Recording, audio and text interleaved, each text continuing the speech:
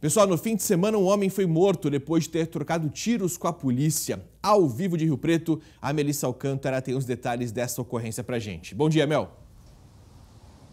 Oi, Casa, bom dia para você, para todos que nos assistem. Olha, a PM foi chamada para atender a uma ocorrência de violência doméstica. A vítima chegou a ligar seis vezes para a polícia pedindo socorro e dizendo que o marido estava armado e já teria efetuado vários disparos na rua. A primeira vez que a polícia chegou, Alessandro de Souza Arruda fugiu, saiu pulando muros ali na vizinhança e fugiu. Quando a equipe de policiais foi embora, Alessandro retornou então e mais uma vez a mulher dele ligou para a polícia. Desta vez, quem atendeu a ocorrência foram os policiais do BAEP. Quando eles chegaram na casa, não é, eles foram entrando, é, vasculhando ali os cômodos da casa e perceberam que Alessandro, de 34 anos, estava armado. Nesse momento, então, os policiais teriam dado ordem para que ele soltasse o revólver e, ao invés de soltar a arma, ele teria efetuado disparos contra os policiais que revidaram. Alessandro morreu no local. A perícia foi acionada, apreendeu as quatro armas.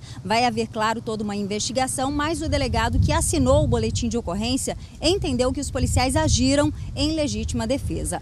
Alessandro já tinha passagens na polícia por roubo e tráfico de drogas. Casa Grande. Beleza, Mel, obrigado pelas informações.